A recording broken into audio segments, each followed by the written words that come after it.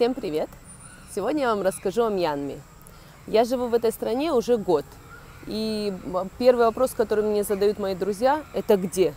То есть люди практически не имеют представления об этой стране. А, поэтому, в отличие от Индии, я решила начать не со своих впечатлений, а с краткой информации об этой стране. И сегодня я сделаю видео в парке, чтобы вы смотрели не только на меня, но и на красивый парк.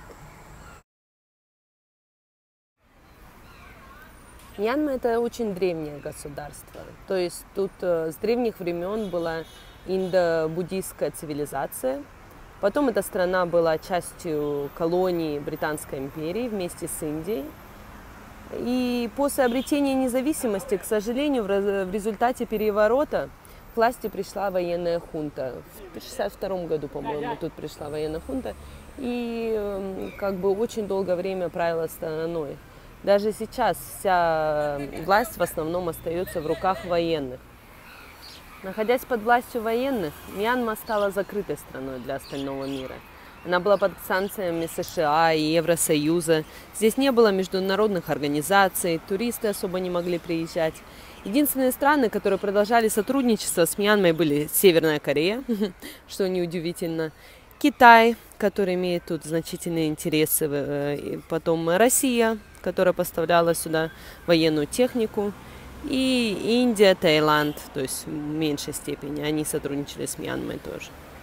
С 2011 года страна начала э, делать некоторые преобразования демократические.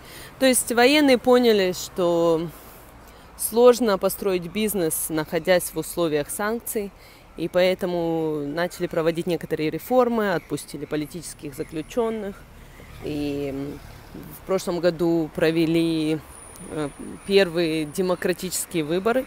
То есть я считаю, что по-прежнему власть находится в руках военных, но формально некоторые изменения происходят, и это позволило открыть страну для бизнеса и для туристов. Сейчас, то есть, очень много компаний при, приезжают сюда, пытаются построить бизнес, потому что тут очень как бы много много вещей, которые отсутствуют в Мьянме, поэтому как бы много ниш для бизнеса.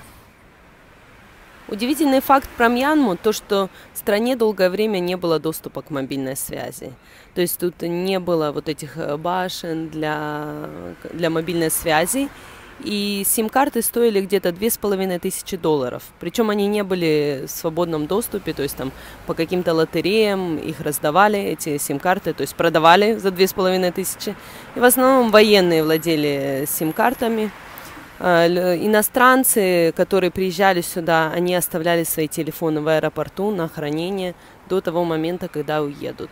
Все изменилось с 2013 года, когда страна дала лицензии на двум мобильным операторам, это норвежскому Теленору и катарскому Риду.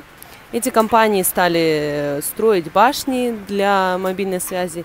И сейчас в стране появилась даже 3G, что создает своеобразную обстановку. То есть сим-карта сейчас стоит где-то полтора доллара. Э, есть достаточно недорогие смартфоны – то есть э, люди в других странах начинали там с простых кнопочных телефонов, без интернета и все такое.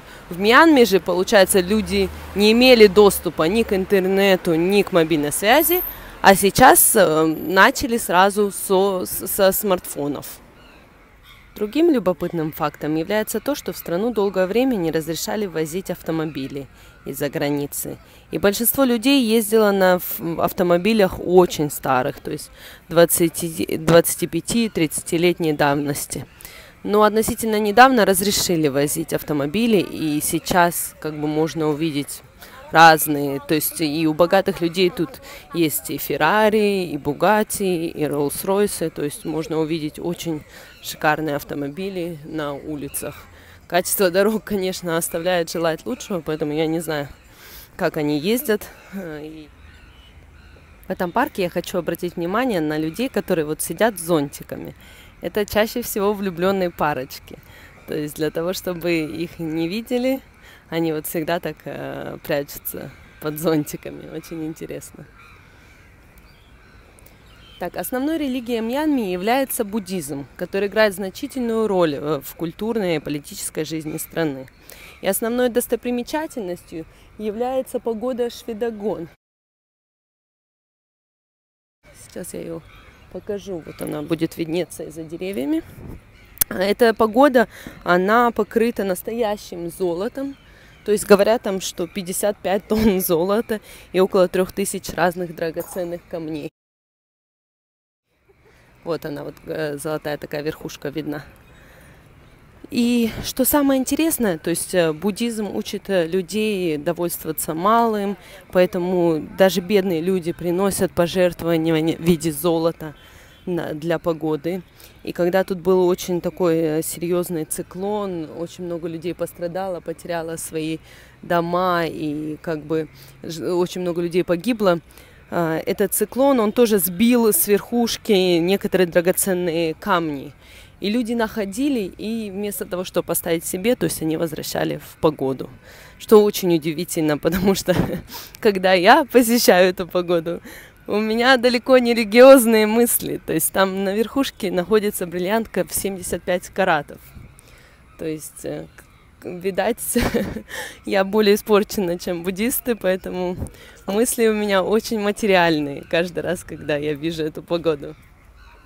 На сегодня все. В этом парке очень жарко, поэтому я заканчиваю свое видео.